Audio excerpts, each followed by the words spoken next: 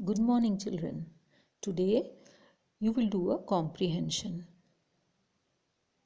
The word comprehension means to understand.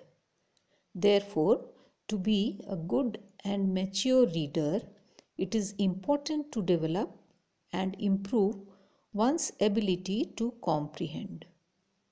A comprehension exercise consists of a passage based on which some questions are set to test the student's ability to understand the passage. So keep the following points in mind while attempting the questions. The first one, it is important to read the passage carefully to be able to answer the questions. The second, study the questions thoroughly and answer to the point. And the last one, be brief and simple in your answers. So, here is your comprehension. Enjoy solving it.